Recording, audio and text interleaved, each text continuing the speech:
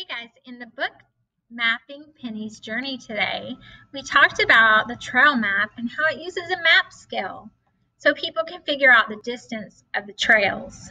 Why do people use map scales? People use map scales so they can figure out the distance of the trails in the park. So our sentence today is going to be people use map scales people use map scales so they can figure out the distance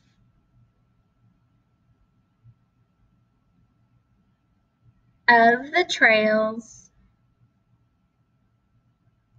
in the park.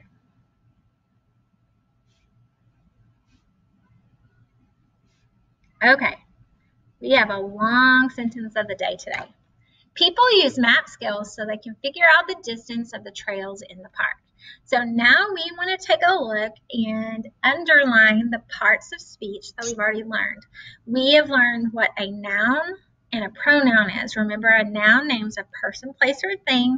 A pronoun is a word that takes the place of a noun, like he or she, they or us.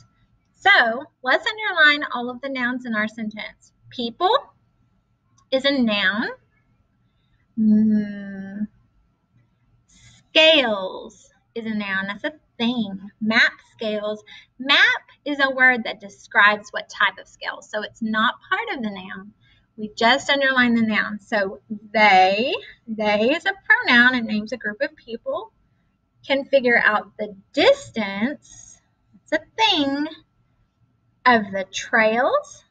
It's a place. In the park. That's also a place. Lots of nouns in our sentence today. Now we want to underline in red the articles. Remember, an article is a word that comes right before a noun, and we have three articles, a, an, and the.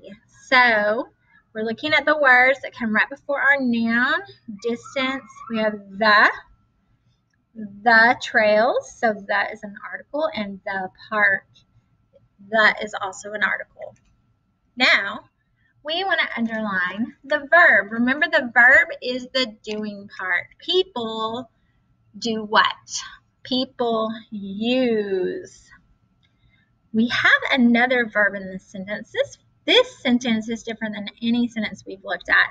If we put a period at the end of scales, we could say people use map scales. That's a sentence by itself. It's a complete thought. If we started with they, we could have another complete thought. They can figure out the distance of the trails in the park. So that could be another sentence. We just very briefly talked about compound sentences last week. It's where we take two sentences and put them together. So we have use as a verb here, and then we also have can figure out or can figure, okay? So we could do can figure as our verb as well. So that's a little tricky and we'll get more practice on those, but that's something completely new for us. The last thing we want to underline is the conjunctions. Remember last week when we talked about conjunctions? Conjunction is a word that joins things together. Okay, so I kind of gave you a clue on this. We have like a and and um, like I want to go to the park and go for ice cream.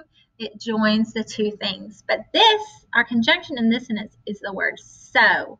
Our conjunction connects the first complete thought with the second complete thought. So the word so is a conjunction in our sentence. All right, friends, that's it for sentence of the day today. That was a lot. We had a really long sentence with lots of very um, difficult things. So